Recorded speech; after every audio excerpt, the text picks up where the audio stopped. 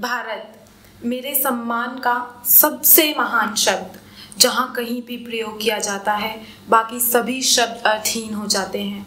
इस शब्द के अर्थ खेतों के उन बेटों में हैं, जो आज भी वृक्षों की परछाइयों से वक्त को मापते हैं।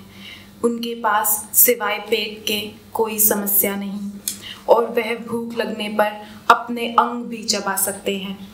उनके लिए ज़िंदगी एक परंपरा है और मौत का अर्थ है मुक्ति।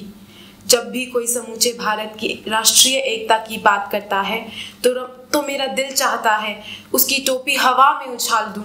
उसे बताऊँ कि भारत के अर्थ किसी दुष्यंत से संबंधित नहीं, वरन खेत में दायर हैं, जहाँ अन्न उगता है, जहाँ सेन लगती है।